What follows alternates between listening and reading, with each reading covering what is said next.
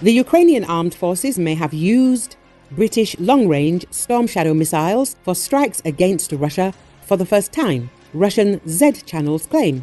Missiles with a range of up to 300 kilometers, which Ukraine has been receiving since 2023 but can only use in combat operations on its territory, were shot down over the village of Kamensk Shakhtinsky in the Rostov region, Romanov Light Telegram channel wrote. It is also reported on the alleged destruction of Storm Shadow. Romanov Light suggested that the authorities will not officially confirm the use of British missiles so as not to devalue Vladimir Putin's red lines once again. Treugolnik, the other Telegram channel, also confirmed destruction of storm shadows over Rostov. But then the channel corrected its reports. The channel writes that Ukrainian made Neptune missiles, which had previously been used to strike the area around the Crimean Bridge, as well as oil depots in the Krasnodar territory, were shut down over Kamensk Shakhtinsky.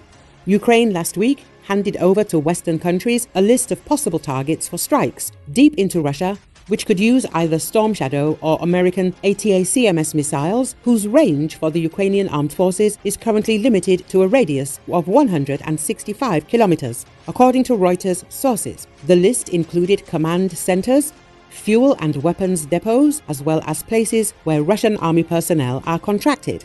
According to the American Institute for the Study of War, in the event of a positive decision for Kiev, at least 245 Russian military facilities, as well as nine large cities with a total population of almost 5 million people, could be in the zone of destruction of Ukrainian strikes.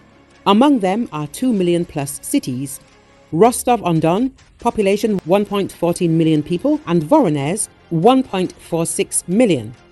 However, so far, no decision has been made on any long range strikes. On September the 16th, US State Department spokesman Matthew Miller, summing up the meeting between President Joe Biden and British Prime Minister Keir Starmer, said that the United States is not yet ready to lift restrictions on Ukraine's use of long range weapons to strike Russian targets. Until now, the Storm Shadow missiles have been limited to Russian targets operating inside Ukraine as well as in occupied Crimea.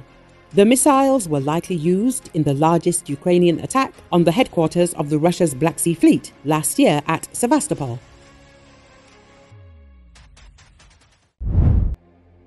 Ukrainian President Volodymyr Zelensky told the Summit for the Future at the United Nations Monday that his country supports efforts to keep all nations united, safe and strictly adhere to the UN Charter. We are now preparing for the secondary summit moving forward with our partners, Zelensky said. We are working on food security, energy security, and holding Russia accountable for its terror. The Pact for the Future, approved by the General Assembly on Sunday, aims to meet the challenges of the 21st century and unite the world's divided nations to move quickly to implement the agreement's 56 actions. Russia proposed an amendment that would have significantly watered down the agreement. Only six countries supported Russia Iran, Belarus, North Korea, Nicaragua, Sudan and Syria. Fifteen countries abstained. Putin has stolen much already, but he will never steal the world's future, Zelensky said.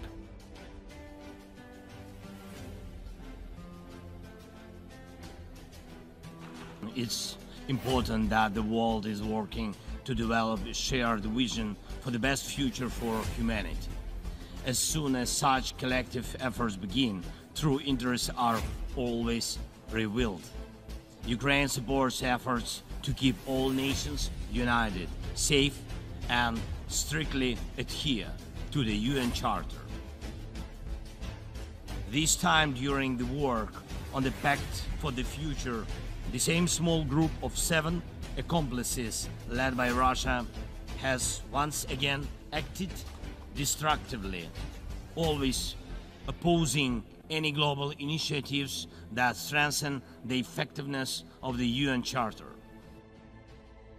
We are now preparing for the second peace summit, moving forward with our partners step by step according to the peace formula and we are working on food security, energy security, and holding Russia accountable for its terror.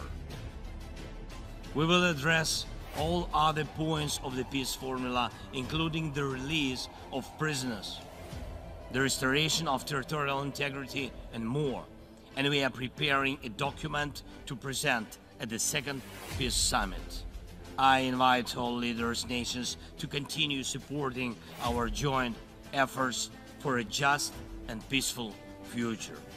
Putin has stolen much already, but he will never steal the world's future. I'm sure. I thank